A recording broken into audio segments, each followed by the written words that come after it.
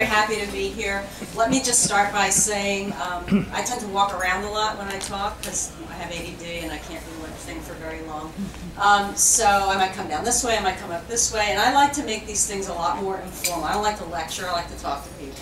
And so it's fine if I don't do all the talking. I know we're going to have breakout sessions later on, but if you want to know something, and I'll, I'll try to come up with the answer, and if not, I'll make one up or you want to say something, there's a comment, an observation, you want to disagree with me about something, I want to hear it while we're here. And hopefully some of that will bring up some of the things that we can talk about later on when we get together in our more informal groups this afternoon.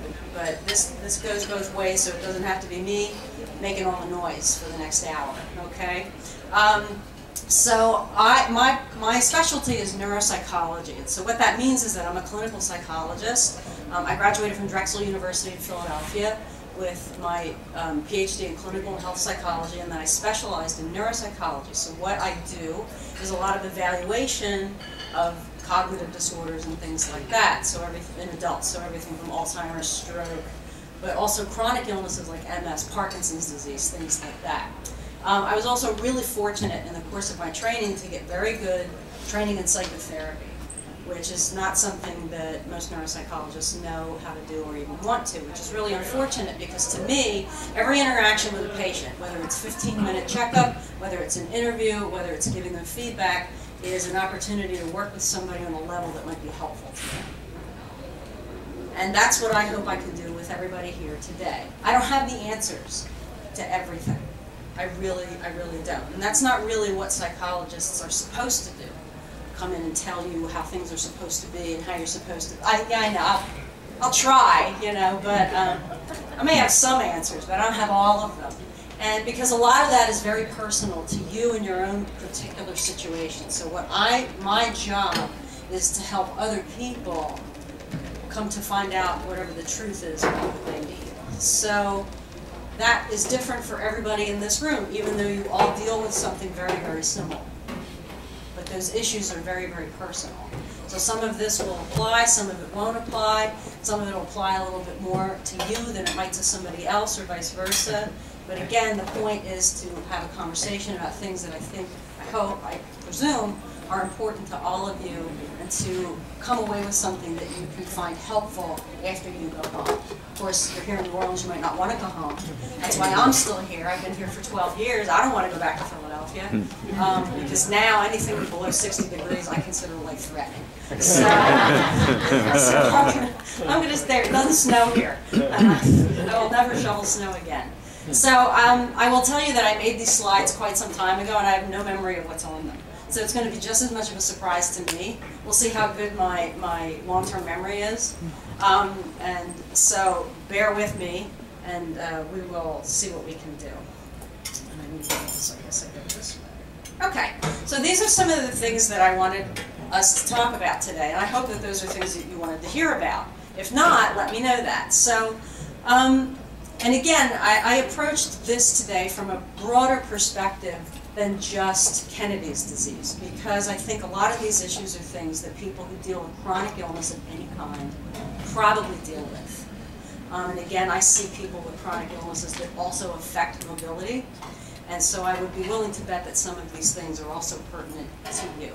So I thought we could talk a little bit about coping and what that means and what it doesn't mean and, and how, how to do it. Um, it's always on everybody's mind, sex and intimacy, right? It should be. It's a really good thing. That's why we're all here, right? We wouldn't be here without it, right? So, um, treatment, things, uh, some discussion about depression. Um, we're going to focus on you guys. You, men never get any attention, right? So today you're going to get more attention because you deserve it, okay? And then how that's related to relationships and, and couples and treatment around those issues, and then some resources that I hope that you might find helpful. And I will, um, I can pass the specific information on to you, Kathy, going to share it with people afterwards. Okay? So if, is there anything that's not on here that you want to hear about? I think you just that was. Think I can pack that into an hour? I don't know. We'll see. You might Yeah. to the second one. Yeah? Okay. All right. Well, let me. I can talk pretty fast, so so let's see what we can do. Okay. So let's start by talking about, and I'm going to try not to stand in front of this, but I think wherever I am, I'm going to be standing in front of it, so I apologize for that. So everybody talks about coping. What is that? Does anybody have a definition of coping? making do. Okay. Rolling with the punches. Rolling with it? Okay, all right, anybody else? Deal adjusting to whatever situation. Okay, all right. Those all sound a lot better than the one I have up here, because this is out of some academic paper that sounds like a lot of babble. But it, it really is true. So coping sort of is defined as this constantly changing cognitive and behavioral efforts, things we try to think, things we try to do to manage stuff that's going on. Plan B. Yes, Plan B, right. And those things that are going on, we experience as really hard, taxing, stressful, exceeding whatever our resources are, whether those are physical, emotional, financial, whatever you want to call them. And so that's kind of what we understand coping to be. But you know, I, I mean, it could mean lots of different things. Probably some of those we can't really define. And so if we can't really define it, then how do we tell somebody how to do it? That can be really tough. Coping can be, uh, we always look for adaptive ways to cope. We hope we do, but certainly lots of people engage in maladaptive coping. I've done it at some point in time, I'm sure. Um, it's just part of human nature. Part of the hard part is recognizing when we're doing it and making efforts to get out of it. And that's especially the case when somebody's dealing with something that's chronic, because it's amazing how something that's abnormal can, can become normal over time. And that includes what we do to try to cope with stuff. The best example I can give you is what happened to pretty much everybody who lives here, um, who was here during Hurricane Katrina. I hate to bring it up, it's been seven years, but um, there are still issues with that that we all deal with here. So everybody here was affected by Katrina in some way or another, as you can imagine. And everybody was stressed and people were coping in lots of maladaptive ways. Um, I know I've seen it in my practice of people coming in with substance abuse uh, who've gained lots of weight because they didn't drink or smoke, but they sure ate everything they could get. Um, whose relationships fell apart. All sorts of things happened. And that level of stress, because it was so pervasive here, really became the new normal. And we didn't realize it because we were all so busy trying to get our lives back together. And so there's all this maladaptive coping that went on that none of us, because we were all in the middle of it, could say, hey, you know, we're really not doing so well here. What are we going to do about that? So it can be a very pervasive thing. Um, and so if somebody says to you, no, maybe you want to try coping with this a different way. Nobody wants to hear that, but it, it may be worth paying attention to sometimes and go, well, you know, can I do something different that might be more helpful to me? Our coping can be reactive or proactive. So usually when something happens, whether usually we're not prepared for it, we have a reaction to that. And it might be good and helpful, and it might not be. Sometimes if we understand our situation a little bit better, we know that certain things might be coming, we can be more proactive about our coping. We can be more prepared about what we might do if A, B, C, or D, or all the way through the alphabet occurs. One of the things that's so difficult about stress, and this is no mystery to anybody in this room, is, is being prepared for the unknown. How do you do that? That sounds like an oxymoron. But knowing that something's going to happen eventually,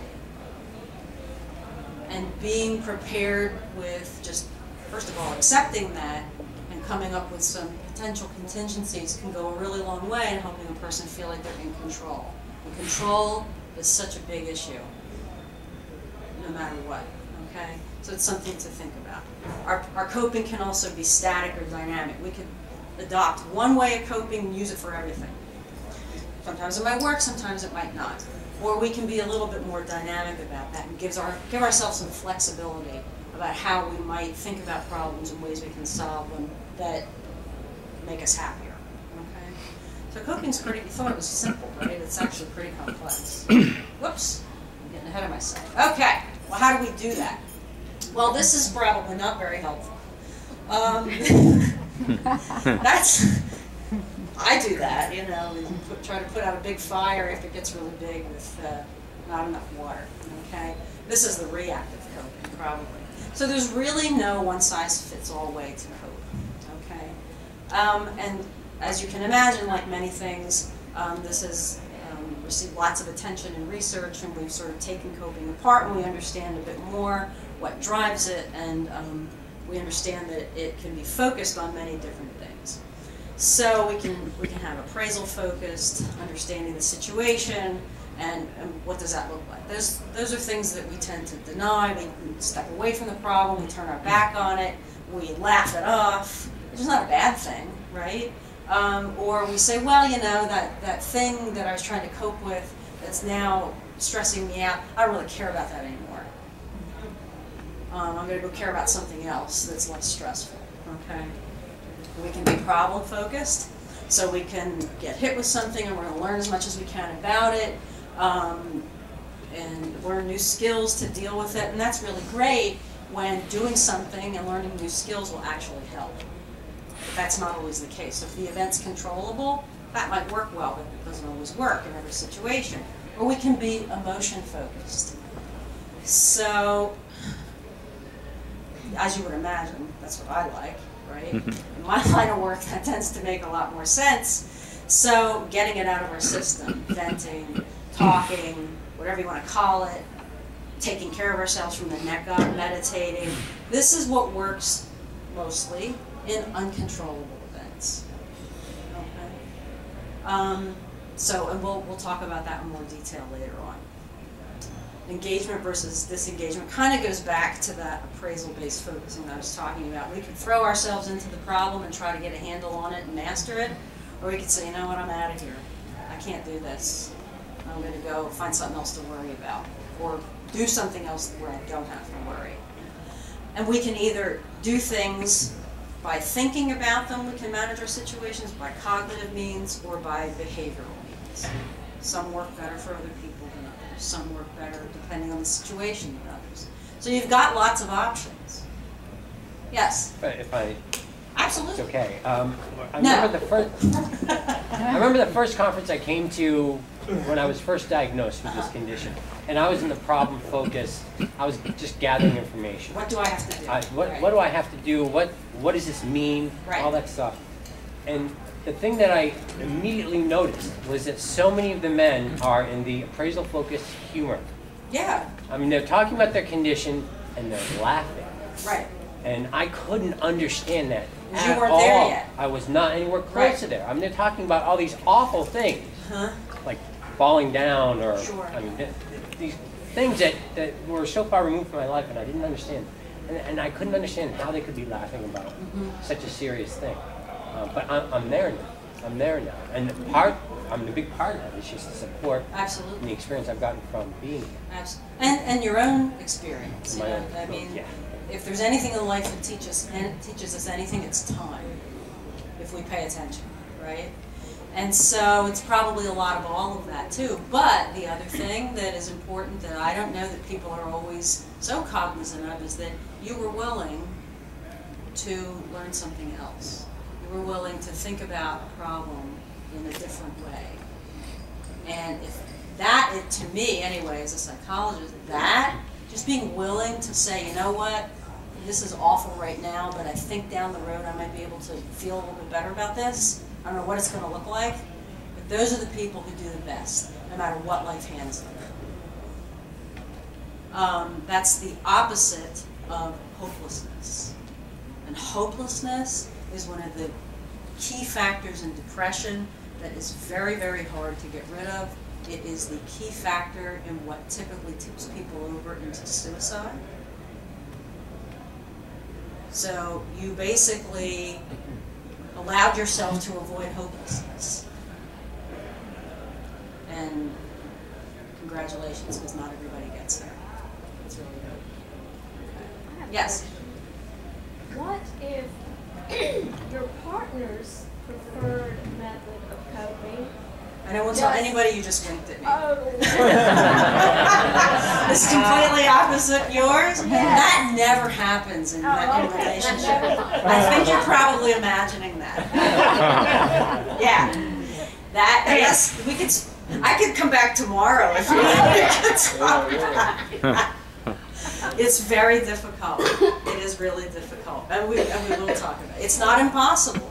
It's not impossible to get around that. Now, I will tell you, I, I do individual therapy. I don't see couples or, or families or anything like that because it's not what I'm trained in. But, you know, very often when I have a patient, their spouse is with them, and, you know, this one says A and that one says B, and C is nowhere in the room, right?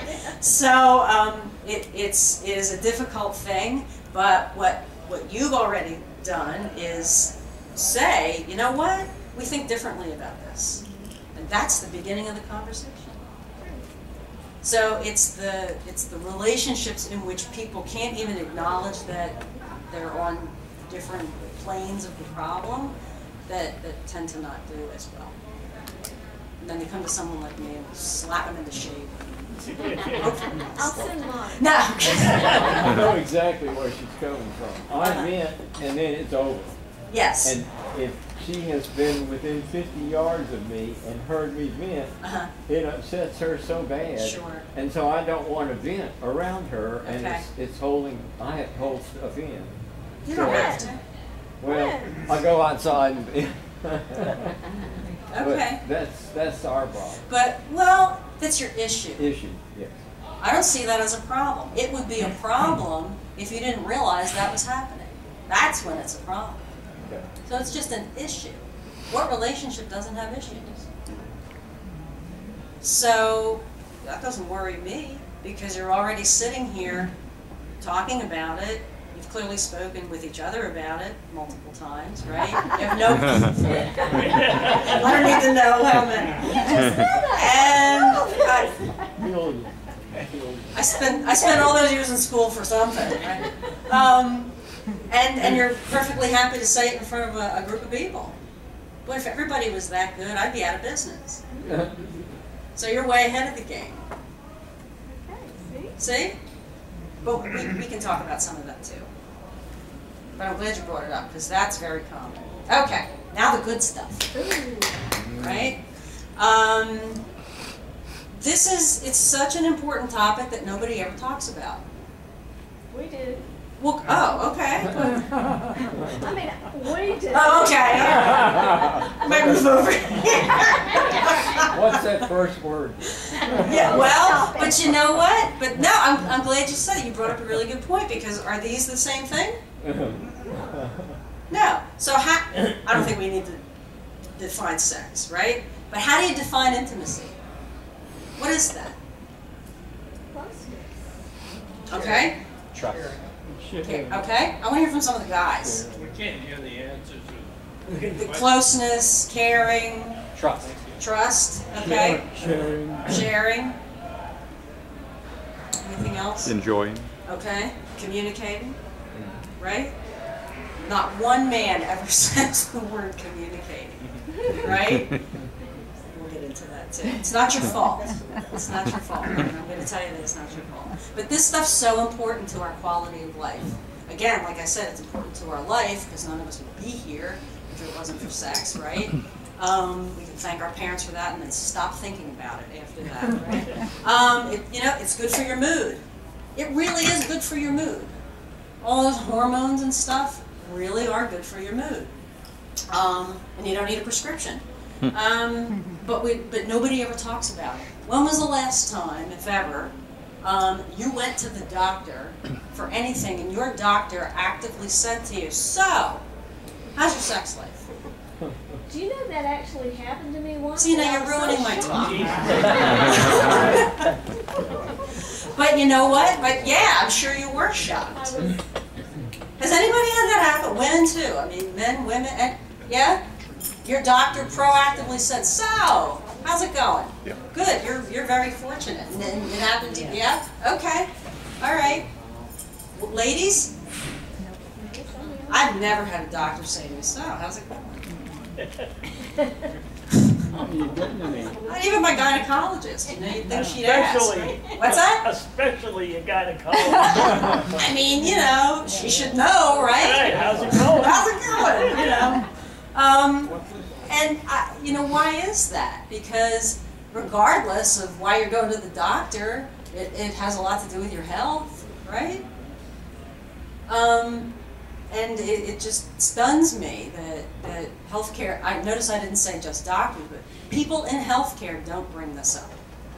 And so how many times have you gone to the doctor for anything and you go, oh, I really like to talk about this, but isn't that their job to bring up the issue? I don't know whether I'm allowed to do that. Okay? It's not their job. You can bring up anything you want. Doctors are so, this is not part of medical training. The only specialty that, that typically delves into how a person's sex life is is urology. And then they're talking about your prostate. So they're talking about mechanics, not, you know, how is it from the neck up? Nobody ever asked you about that. And I know a lot of psychiatrists, a lot of my colleagues don't even ask those questions when they're taking a history. And it, it's like the 800 pound gorilla in the room. It really needs to be addressed. Um, and so patients are often uncomfortable too because, you know, and I think this says nothing about anybody in this room, but I think depending on what generation you come from, you go to the doctor and you're not supposed to be leading the conversation. They're supposed to be asking you the questions and you're going to be the good patient and you're going to answer the questions that they ask you. Good, I'm glad you're saying no because it should never be that way. Remember, they work for you. What kind of question I ask? They work for you. So I tell people all the time, ask me whatever you want to know and if I don't know the answer, I'll find out for you. Um, so there's that discomfort level. And I always find it amazing that we're all so uncomfortable with this because aren't we surrounded by it all the time? I mean, you pick up a magazine, you go to the movies, you turn on the television, you get, it's all over the place, and yet we're not supposed to talk about it. Oh, this is a crazy country. Um, and there are lots of biases, too, about what this means. Um, very often, I think there is this idea among the medical professionals that this person is coming to see me for a very specific reason. And why are they bringing up sex? Aren't you worried about your chronic illness? They must be in denial.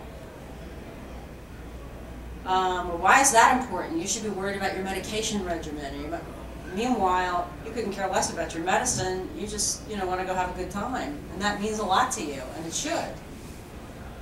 And then there's a lot of misinformation. I mean, WebMD is great for some things, but I think you really have to be careful what you read out there. You know, so very often people who feel uncomfortable about speaking to their doctor or their partner or anybody else about these issues, what do we do? We get in the internet. Because you can find the answer to everything on the internet. You can find an answer, Wikipedia, right? Who wrote that? I don't know. um, so you have to really be careful about the information that you get and the sources that you get it from because not everybody's an expert. And around things like this, it's better if we have expert help. And I don't even, I'm not an expert in this area either. So I go to the internet. To the professional class. I go to the professional ones, yeah, the ones you have to pay to join. Okay. So let, let's, they really, they take every penny you have. Let's talk about treatment a little bit. So we were spending some time talking about coping and then we get into treatment. So very often, you know, and gentlemen, you, you know this better than anybody, man's having problems with performance, he goes to the doctor, the doctor says, here, take this pill, everything will be great. See you in three months. Um, and the treatment is focused only on physiology. And not everybody can take it anyway, right? You have a heart condition, I don't know what you're going to do, but you can't take Viagra or Cialis in your heart condition. Um, and I want to, you know, I want to know what they're doing for ladies, by the way. You're supposed to be. That people I know actually have prescribed Viagra for women. I don't know what happens, but I can't I imagine. don't, kind of afraid to know. Um, but what we do know is that the and then th and this is what's called treatment. These are your treatment options, gentlemen. Pills. And what we know is that the efficacy of those treatments goes down the more chronic the illness we're talking about. So what do you do? Well, I don't know what to tell you. You know, Mr. Patient, your the pills didn't work. Can't help you. Why are you worried about this again? Um, you have bigger things to worry about when, you know, it might be the biggest thing on your mind, right? So that's the problem with the medical approach. Now, I'm all for the medical approach in lots of ways, but with this sort of thing, you got your pills or you got nothing. Well, you do have something. Um, but nobody ever talks about that, as we see. So now what we're doing, some people anyway, um, are emphasizing what we call the biopsychosocial model. And this takes into account not just you know how your plumbing is doing, but how is the rest of your life in relation to these problems with relations. Okay? So there's a lot more emphasis, people who practice from this approach emphasize things more about, so how's your relationship? Whatever that is, if you're married, involved with somebody, whatever, whatever it is. Um, make you happy? Let's forget about the physical part for a minute. Is that okay? Is the quality of your relationship all right? Are you depressed? Are you anxious? Has anyone ever asked you if you're depressed or anxious? Yeah? The doctor asked you that? And so it, it's kind of interesting because they say to you, are you depressed? Well, what if you're not sure? Because depression doesn't look the same in everybody. And we'll talk about depression in a minute. Are you anxious? Well, I don't know. If you get used to a certain level of stress and that becomes normal, how do you know? If you're anxious in a way I would, if you came to see me, I would think would be significant, right? Get used to it. It's a new normal and um, and body image concerns and all that sort of stuff. So, you know, people who are providing treatment now um, that doesn't involve pills tend to focus more on this much more comprehensive understanding of how people are doing. Because we're all comprehensive people, we're not unidimensional, so all of these things matter.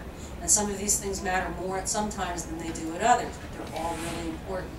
So healthcare practitioners should be asking about this, and everybody should be thinking about this too. Not just, you know, is it working, but is the rest of my life working too? And if it's not in certain areas, then what do I need to do about that? Who can help me? Okay? So that's how we understand treatment a little bit more. Let's talk a little bit about depression. it can feel that way. Um, I actually have that hanging on my office door every once in a while. Because um, it, it, certainly does feel like that. Although sometimes you feel like you don't come back all the way. Um, depression is tremendously underdiagnosed in men and women. It's more common in women. Some people say it's more common in women because of men. Not sure the incidence, the prevalence rate in men runs about 10 to um, 5 to, 5 to 12 percent, just in the general population. In chronic illness, it could be up to 40 percent. Half. So if that's right, almost half of the gentlemen in this room probably meet criteria for clinical depression. In women, yes? Uh, I would say that the guys that are making the decision to be here are not generally going to be in that 40%. Probably not. They're a self-selecting population. That's right. So think about your, your friends who aren't here and maybe reach out to them. But you're, you're absolutely right. Because you're, you're information focused, and, but also emotion focused, that's what we're talking about. And, and that, that higher incidence rate is in individuals who are affected with a chronic illness that affects mobility. So again, I'm used to working with people with MS, Parkinson's disease, um, you know, things like that. Before I went back to graduate school, I worked for many years um, in a rehabilitation hospital in Philadelphia um, that uh, worked with brain injury, spinal cord stroke, patients with you know, no mobility in some cases. And the levels of, and many of those, many of those patients were men, and many of them were young, in their 20s to early 30s. Mm. And um, the levels of depression were unbelievable, but very difficult to diagnose because what does depression look like?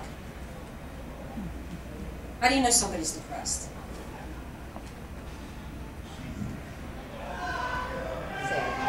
Okay. They're not depressed. Anything else? Sadness? Can you see sadness? Quiet, withdrawn. Maybe withdrawn, yeah. often don't socialize a lot. Don't Exactly, want to they socialize, isolate, they isolate. The, the, actually in adults and act, in children also, one of the most prominent symptoms of depression is irritability. Irritability, well, that's because of his coping Oh, style, that's- remember? Now we know, you feel better? Yeah. Your fault. It's ir- Always. Um, we'll talk afterward. I'll get you all straightened out. Um, it really is irritability and anger. Well, that doesn't look like depression. If somebody's foaming at the mouth, they don't exactly look sad, right? But that is very, very common. That's, that's inability to cope that makes them. angry. Yeah. The uh, you know I the thing I tell patients a lot is you know if you put five gallons of water in a three gallon bucket, it's going to it's going to leak out somewhere, and that's usually how it does. Is in behavior. Right. Um, there are actually physiological reasons for that. When you're when in the setting of depre- depression's an illness. Depression is a change in brain chemistry. Brain's not functioning right, so it can't handle threat well. And when it's threatened, it reacts to protect itself, and that comes out in, in hmm. anger and irritability. Okay, so what we also need to understand is whether or not it's really depression or just the effects of the illness or sometimes the treatment. I mean, depending on what you're being treated for, you know, I think of my MS patients, those drugs are horrible. They make people really sick. They, sh- they have no energy, so they're not going anywhere. They're isolated. They don't have the energy to talk sometimes. Um, so is it that? Is it just the effects of the illness itself? You're tired. Just don't quite have the energy to do what you did yesterday or the day before, or is it really depression? Sometimes it's all of that. And it takes some careful questioning to tease that out, okay? Um, because the symptoms overlap quite a bit. We talked about some of the associated behaviors, but if we would just see those things, we might not automatically assume that that person's depressed. Oh, they just don't feel like being bothered. They're tired, so they don't feel like hanging out with me. I understand that, right? It's when we start getting into other things like substance abuse, substance use. I can tell right after, as I mentioned before, right after Katrina, the rates of substance abuse skyrocketed in this town. I mean, we like to party anyway. I think you've noticed that since you've been here. Has anybody, have you been down to Bourbon Street? Yeah. Okay, so I don't need to say anything else. Well, let me, I'll, I'll digress for one moment. The thing that's fun about Bourbon Street is if you go during the day, um, you know, there's, it's, it's fun, you know, it's sunny out, it's nice, the shops are open. Go at night, it's a totally different place. It's, it- it's, has multiple personalities. It's really kind of interesting. I have a question. Yes? Why does the healthcare industry in this area allow people to wander the streets without open house? Well, it's not our fault. Sure it is. We're out there too. um, it, you know, I, I came from a state where if you wanted to buy liquor, you had to go to the liquor store. And if you wanted beer, you had to go to the beer distributor, and you didn't want them on Sundays because you couldn't get them. And I moved here, and I'll tell you, three days after I moved here, I was in Kmart pushing my cart around, and I walked past an aisle, and I thought, I didn't just see that. And I backed up, an entire aisle in Kmart was cases of beer. Um, and I realized I'd moved to another planet, not just another state. Um, it, it's, we're, you know, it's a really good question. It's always been that way here. You know, you can wander down the street with your alcohol as long as it's not in a bottle. Does everybody know what a go cup is now? Oh, yeah. Yeah? Okay. Um, put your beer in a go cup and you can go. Uh, we- this place runs on tourism. And people come down here expecting Mardi Gras twelve months out of the year. So we don't want to take that away from them. Sounds good. Um, but, you know, so in, in a place where substance abuse was pretty pervasive anyway, it really got out of hand after Katrina. And again, it wasn't just drugs and alcohol, it was food, it was all sorts of bad behaviors that people did in excess to cope because nobody had their head on straight, so who was going to help anybody cope? That, that was, yeah, the prevalence was because the tourists didn't come and they'd been a moderating effect. Without them, we saw what the locals were Everything, I couldn't, yeah, I- it, it was, um, it was like nuclear winter down here. There, nothing was normal. And so what do you do when things aren't normal? You have a Bloody Mary. Or two. or several. But I, really, you know, dealing with depression is, is one of the things that has probably one of the most predominant negative effects on people's relationships. And when you're dealing with something over a long period of time, and remember this kind of thing becomes normal, is it any wonder that those relationship problems become pervasive? Nobody recognizes it for what that for what it is because it's just the way it is. And depression is, it's not easy to treat. It's very treatable, um, and accounts for so much of what goes wrong in, in chronic illness and its effect on, on relationships. Okay. So let's talk about coping again, a little more specifically. So when we're talking about sex again, because we can't ever get away from that, right? We know that the medical treatments that are available are limited. And when people don't have a lot of options, they make up their own. And very often, um, we default back into what feels safe and become even more rigid in how we cope because we're not quite sure how to manage this sort of stuff. So our roles become more rigid, our expectations of ourselves and other people become more rigid. That feeds into more depression, that affects relationships more. It becomes a vicious cycle. So what do we do about that? We try to help people understand that they can be a lot more flexible in how they cope about things. There's more than one way to do this the right way. Often that involves redefining how we understand what sex is, and then shift that focus also to intimacy. And we talked about that a little bit before. Um, but not, to, you know, that doesn't mean, you know, well, I can't do this anymore, so I'm just going to go work all the time. You know, I'm going to go uh, pursue some hobby all the time to the detriment of my family and my spouse and my kids and my friends, or get over involved in other people. Okay? when we see people who are willing and able to adopt a more flexible approach to their coping, meaning I'm going to do this now and I might do something else later on to see if it works, those are the people who do best. What it seems to do is help people feel more in control, especially of the unknown. And so those of you who deal with this chronic illness know something's going to happen down the road. You don't know when, you don't know what it's going to look like when it does. That sets the stage, certainly, for feeling out of control. Being able, to the extent that you possibly can, say, you know what, I'm going to be a little more flexible in how I think about this, automatically puts you back in control of the situation. It doesn't change the outcome, but it changes how you deal with it. And in life, that's all any of us can really do. Because we all, look, we all, we're all going to have the same outcome in life, right? all of us, the thing we have in common. It's what we do before we get there that matters. Okay? So we talk more about emotion-focused coping. We talked about, you brought that up before, is that something being really helpful? And it's really helpful, like we said earlier, because it helps with uncontrollable events. So, you know, for two people who fight all the time, I, I'm, you hold hands a lot. That's really sweet. I'm very calm. Oh, oh, okay. I thought I was being helpful. Okay. No, we really are. Let me regroup. Sorry, Okay. I'm sorry. No, no, that was great.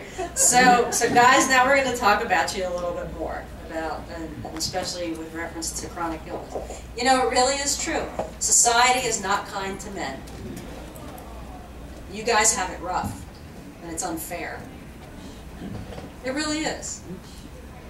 Um, that that's that problem focus. Oh yeah, no, it's okay. I'm a guy. What am I gonna do? What am I going to do? I'm a guy. But it really is true because society hands from a very young age. They do it to women too, ladies, right? We don't even realize it's happening, but they hand you all the set of expectations that means that you know you're supposed to be Superman before you're 10 years old. it's, we're surrounded by it. You know, our, our understanding of gender roles is really set in stone before we're five years old. That's true for men and women. It's very insidious. The toys we play with, the, kids we play with, the kinds of games we're allowed to play, the clothes we wear, what we watch on television, how we talk. Yes, I've noticed that when I'm out in public, boys that can barely walk Uh-huh. are fascinated by my school. yeah, Little girls, they don't even know. couldn't care less. I don't think that's something that we're forcing on them. Some of it's probably wired, but some of it is not. A lot of it is not, you know? So when babies, even though they can't talk to us, and all of you with children know this, um, absorb things like sponges. So if the little boy is given trucks and Thomas the Tank Engine and all that kind of stuff, even when he's still a weenie in diapers, and little girls are given little teddy bears and things that are pink and stuff. It starts from the very beginning. But because we were all socialized that way, we don't realize we're doing it because it's just what you do. Why is that little boy wearing pink? What, what you know, he's going to be gay or something like that. Unbelievable. Um, so some of it could very well be wired, but a lot of it is our fault. It really The is. mental health industry. Uh, yeah, that's why we drink. to get over the guilt. Yes, sir. I watched, I saw a comedian on a cruise ship one time talk about relationships. That's the best place to learn about life. Is from a At the comedian. end, at the end of his talk, he says, I'm a man and I'm sorry.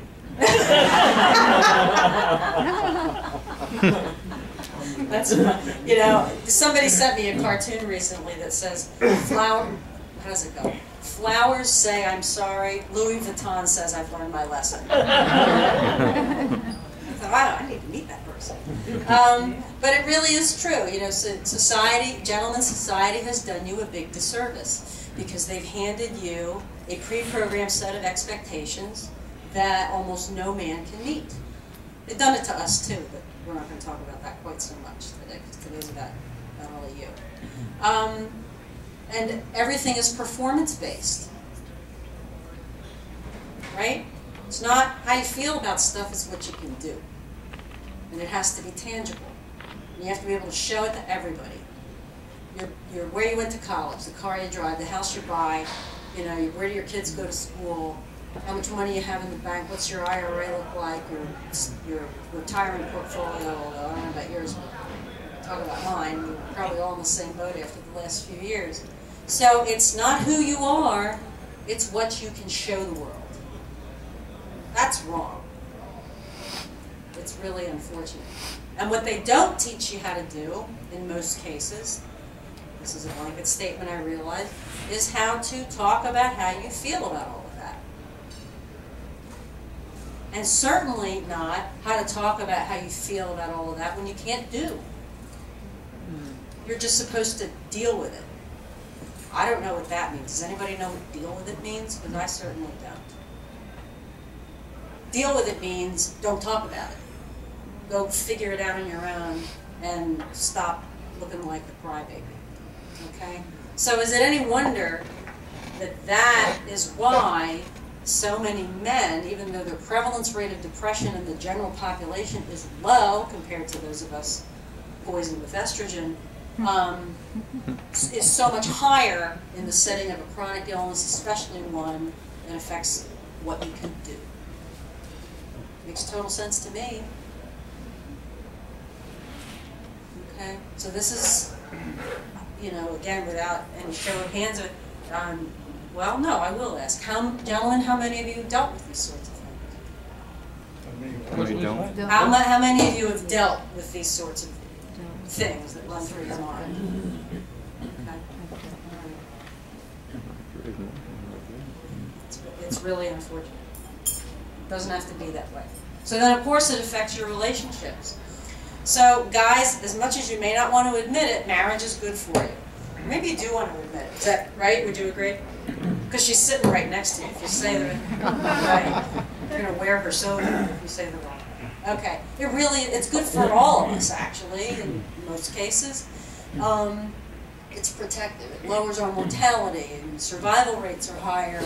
Um, people who are, you know, when your wife nags you to take your medicine, you're probably going to do better because you're taking the medicine. Okay? She does it because she cares. Um, and it goes the other way too. And it even helps our immune systems, believe it or not. The thing that's also true is that when relationships are distressed, those negative effects are worse than the positive effects of a good relationship.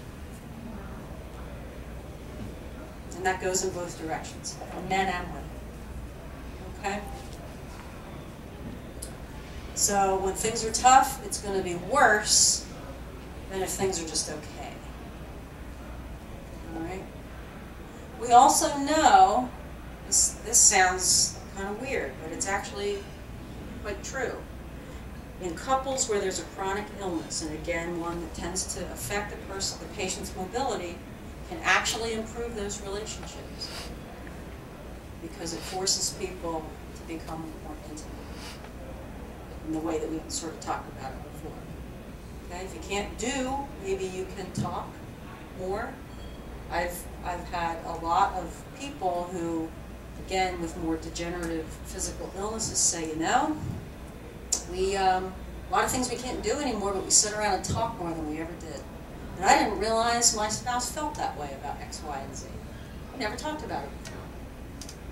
We're actually closer now than we were before. Okay? It's also important to think about these things in, in the context of when the relationship, when the illness began within the relationship. So, um, and it can still work fine, you know, no matter what happens, but the ones that have the harder time are the ones where, you know, a person is injured in some way during the course of their marriage, they've already been together for a while, and then something suddenly changes. I saw this a lot with the patients with spinal cord injury who were paralyzed all of a sudden at the age of 35. Um, and they had some adjusting to do, and sometimes that didn't always work out so well. Okay, so all is not lost. Okay. When we talk about how people cope with this sort of stuff, you know, we're, we're psychologists, you know, we're, we put people on couches and ask them to talk about their mothers and all that sort of thing. Not really, but um, we do talk about, we try to understand how a person developed their understanding of relationships. And that does go way back, and it's referred to as attachment, attachment theory. This helps us understand why people are doing what they're doing and not doing what they're doing in terms of their relationship better than anything. Because it's the foundation for all of our relationships with other people, not just our romantic relationships. There are different kinds of attachment. There's anxious ambivalent. Um, you may see this in kids that come from traumatic households where they approach and avoid their parents at the same time. They want affection from their parents, but they um, don't always get that. They're not sure what they're going to get, so that they approach and avoid at the same time. They're very ambivalent. Um, and kids who come from abusive households will often see a lot of avoidant attachment, which sounds like an oxymoron, but it really is a term that's used. They're defensive, they're repressed, um, they've been um, taught either to not have feelings or not express the feelings that they have. And so it's no, and then the, the one that's fine is secure attachment. Um, so it's no mystery that if this is what you learn when you're a little kid, you carry that into adulthood. We don't know this is happening. Our personality is pretty much formed by the time we're three years old, three to four years old. And the thing that makes that difficult is so much of that happens before we're even able to talk about it, before we have language. So, so many of those important things that we learn about getting along and what we can expect from other people happen before we even have the words to express what that's like. So is it any wonder that 40 years later, when somebody finds himself in therapy, we start asking, well, you know, what was it like growing up in your family? and how it, uh, because the words aren't there. Those feelings aren't attached to anything that they can express. And that's when it gets to be a lot more work. Okay?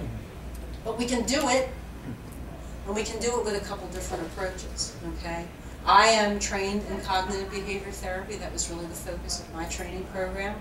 Um, and so the emphasis there is on understanding the relationships between how we appraise situations and how we act on them, and how those things reinforce each other.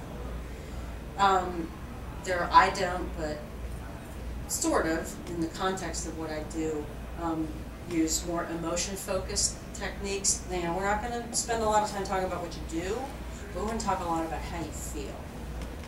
Really get it out and examine it for what it is, and see how it either helps you do well or um, makes things harder. Okay, I'm going to talk about treatment again.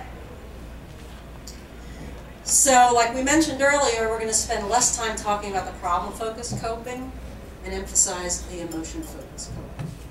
And this is where all of you can help with this process. So, you're out there trying to take care of yourselves and asking your healthcare providers to take care of you as well, knowing that they're probably not as equipped to do that as you would like with these emotional issues.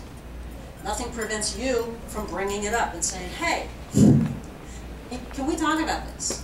Do you know, are you comfortable having this conversation with me? If you're not, who can I go see? Who can help me figure this out? There, there is one particular model of counseling that is specific to um, sexuality. And this is something that actually some medical training um, programs focus on. It's called PLISSIT.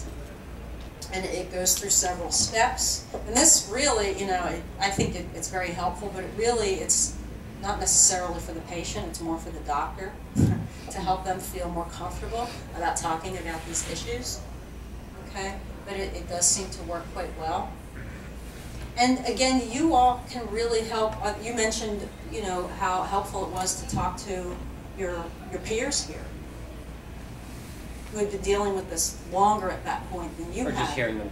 Sure, right. And so everybody here has knows somebody who's been dealing with this less time than you have. And even though you might not fit, you know, you're dealing with your own things and they're difficult, but you've already learned something about coping with all of this that somebody else will find beneficial. And because you live with it, you understand it better